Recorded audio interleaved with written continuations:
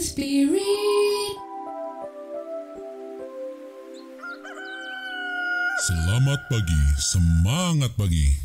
Shalom Bapak Ibu dan saudara-saudariku yang dikasih oleh Tuhan Yesus bertemu kembali di dalam Morning Spirit.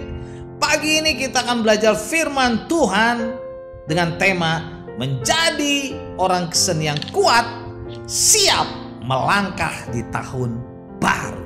Haleluya. Dunia di mana kita berada sekarang ini diwarnai oleh hal-hal yang menggoda dan yang dapat melemahkan iman kita. Karena itu jadilah orang Kristen yang kuat, yang sungguh-sungguh bergantung sepenuhnya kepada Tuhan. Dalam 2 Timotius 2 ayat 1 firman Tuhan berkata, Sebab itu hai anakku, jadilah kuat oleh kasih karunia dalam Kristus Yesus. Jadilah kuat saudara dalam bahasa aslinya ditulis dengan kata endinamo. Endinamo artinya harus terus-menerus diberi kekuatan oleh Allah. Dan kata kuat di sini juga adalah karena kasih karunia Allah, bukan karena kita kuat dengan kekuatan kita sendiri, tetapi karena kita sungguh-sungguh bergantung kepada Allah yang kuat.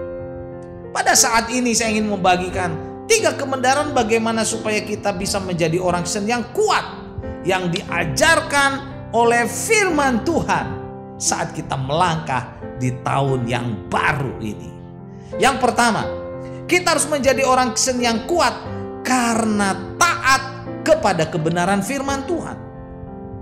Dalam Yosua 1 ayat 6 sampai 8 firman Tuhan berkata, Saudara, firman Tuhan kepada Yosua dan juga kepada kita saudaraku pastinya kuatkan dan teguhkanlah hatimu sebab engkaulah yang akan memimpin bangsa ini memiliki negeri yang kujanjikan dengan bersumpah kepada nenek moyang mereka untuk diberikan kepada mereka.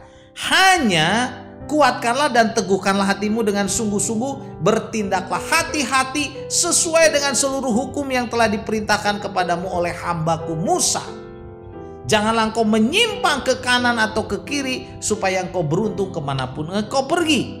Janganlah engkau lupa memperkatakan kitab Taurat ini tetapi renungkanlah ini siang dan malam supaya engkau bertindak hati-hati sesuai dengan segala yang tertulis di dalamnya. Sebab dengan demikian perjalananmu akan berhasil dan engkau akan beruntung. Puji Tuhan.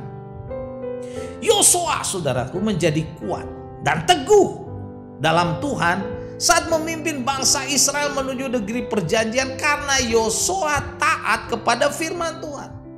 Yosua Yosua memperkatakan firman Tuhan dan merenungkan firman itu siang dan malam sehingga perjalanannya menjadi berhasil, menjadi berhasil dan beruntung. Jadi saudara kita sebagai orang Kristen yang kuat, kita menjadi orang Kristen yang teguh, yang kokoh saudara saat menghadapi tantangan di dunia ini dengan segala macam godaan dan hawa nafsunya saudara.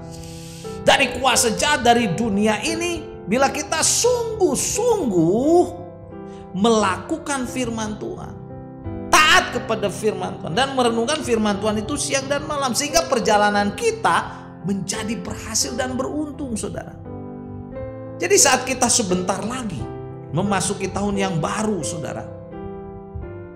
Janganlah takut, jangan khawatir, saudara. Bila kita taat kepada firman Tuhan, melakukan firman Tuhan, merenungkan firman Tuhan siang dan malam, saudara, kita akan dapat menghadapi tantangan apa pun di tahun yang baru. Dan kebenaran yang kedua, saudara, kita dapat menjadi orang sen yang kuat karena penyertaan Tuhan yang kuat. Haleluya. Yosua 1 ayat 9 berkata, Bukankah telah kuperintahkan kepadamu? Kuatkan dan teguhkanlah hatimu, janganlah kecut dan tawan hati, sebab Tuhan Allahmu menyertai engkau ke mana pun engkau pergi. Puji Tuhan. Saudara, Yosua menjadi seorang hamba Tuhan yang kuat dan teguh karena penyertaan Tuhan, saudaraku. Demikian juga kita sebagai orang-orang Kristen yang bersungguh-sungguh bergantung sepenuhnya kepada Tuhan akan menjadi orang Kristen yang kuat dan teguh yang tidak kecut dan tidak tawar hati saudara sebab apa Tuhan menyertai kita ke mana pun kita pergi. Ke mana pun kita melangkah di tahun yang baru. Jadi percayalah sungguh-sungguh itu kuncinya saudara. Tuhan tidak akan pernah meninggalkan kita sedetik pun karena dia adalah Immanuel yang kita kenal dalam nama Tuhan Yesus Allah yang menyertai kita saat kita melangkah, saat kita bekerja, saat kita ke mana pun kita pergi.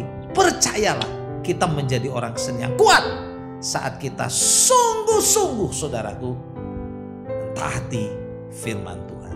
Dan kebenaran yang ketiga, kita dapat menjadi orang Kristen yang kuat karena kita selalu berjaga-jaga dan selalu berdoa kepada Tuhan Yesus. Markus 14 ayat 38 berkata berjaga-jagalah dan berdoalah supaya kamu jangan jatuh ke dalam pencobaan. Sebab roh memang penurut tetapi daging lemah. Saat Tuhan Yesus ada di Taman Getsemani, saudara ini konteksnya. Dia akan ditangkap, akan disalibkan saudara. Tuhan Yesus mengajar murid-muridnya yang menyertai dia untuk berjaga-jaga dan berdoa supaya jangan jatuh dalam pencobaan karena daging lemah.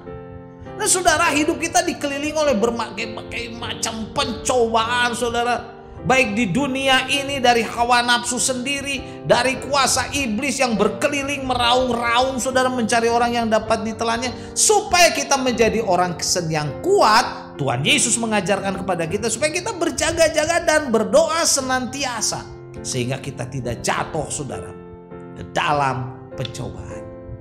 Jadi saudara inilah tiga kebenaran bagaimana supaya kita menjadi orang kesen yang kuat yang diajarkan oleh firman Tuhan. Yang pertama saudara, kita dapat menjadi orang Kristen yang kuat karena taat kepada kebenaran firman Tuhan. Yang kedua, kita dapat menjadi orang Kristen yang kuat karena penyertaan Tuhan, Immanuel, Allah yang menyertai kita saudara. Dan yang ketiga, kita menjadi orang Kristen yang kuat saat kita memasuki tahun baru ini saudara karena selalu berjaga-jaga dan selalu berdoa kepada Tuhan.